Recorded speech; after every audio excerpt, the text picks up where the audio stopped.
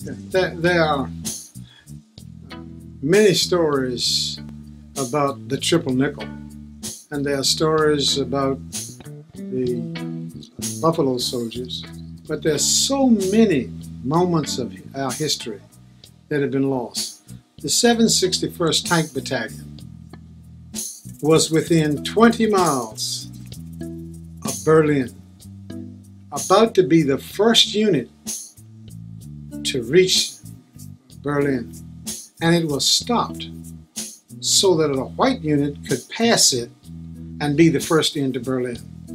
Those kinds of things hurt, but they are part of our history, and we ought to know them. And we need to know them so that we don't make those mistakes in the future or make like they never happened. The U.S. Army is proud of all its soldiers and individual stories of integrity like this one, and they should never be forgotten. Join me to help build the National Museum of the United States Army, a tribute to all American soldiers and dedicated to telling the story of the U.S. Army from 1775 until now.